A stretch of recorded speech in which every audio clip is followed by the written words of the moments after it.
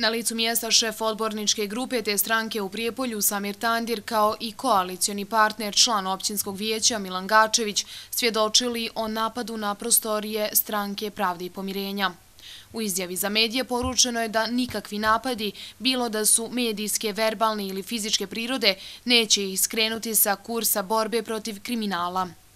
Milan Gačević je ovom prilikom poručio da je njegova stranka, on i cijela koalicija u Prijepolju, sastavljena od autentičnih predstavnika srpskog i bošnjačkog naroda koji daju punu podršku radu i djelovanju akademika Muftije Muamera Zukorlića i predstavnika stranke na čijem je čelu.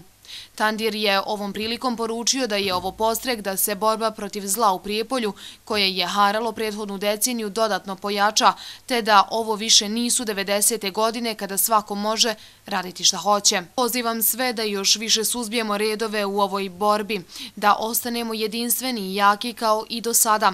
Želim da se zahvalim volonterima Stranke pravde i pomirenja koji su odmah sanirali sanirali štetu i evo, tek je podne, a sva je šteta sređena. Ovim putem bih pohvalio i brzu reakciju ovdašnje policije, koja je počinioca privela pred lice pravde. Neka znaju svi da ovo više nisu 90. godine i da niko neće više smijeti pokušati učiniti nešto slično ovome, poručio je Tandir. Iz Ministarstva unutarnjih poslova kazali da će javnost biti obavještena sa općenjem.